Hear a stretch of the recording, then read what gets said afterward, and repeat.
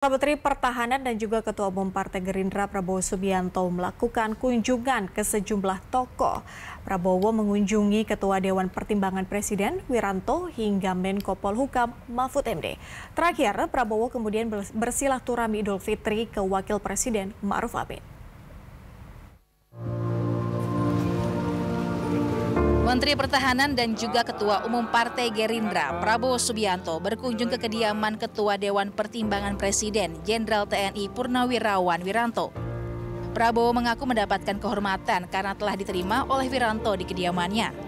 Prabowo juga mengatakan kunjungan ini dalam rangka silaturahmi lebaran, terlebih Wiranto merupakan seniornya ketika di TNI dulu.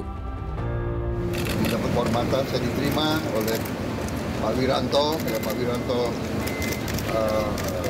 senior saya, pernah panglima saya, pendahulu saya sebagai Menteri Pertahanan. Uh, jadi saya merasa adat kita, tradisi kita, di hari yang baik, suasana lebaran kita uh, berlebaran berjalan kita Usai datangnya seniornya, Prabowo Subianto sambangi Menko Polhukam Mahfud MD di rumahnya. Kedatangan Prabowo ini bertujuan untuk menjalin silaturahmi usai Hari Raya Idul Fitri. Mahfud MD berjanji akan membalas kunjungan Prabowo dengan menyambangi kediaman Menteri Pertahanan ini di Hambalang, Bogor. Pertemuan Menteri Pertahanan dengan Menko Polhukam ini berlangsung selama sekitar 30 menit.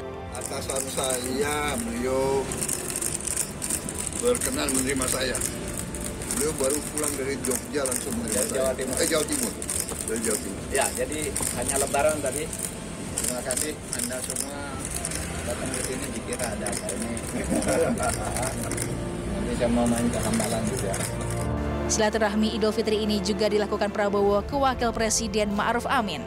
Dengan mengenakan batik, Prabowo menemui Ma'ruf Amin di kediamannya di Jalan Diponegoro, Jakarta. Silaturahmi antara Prabowo dan Wakil Presiden berlangsung selama 30 menit dan ditutup dengan sesi foto bersama. Tim Liputan Universe.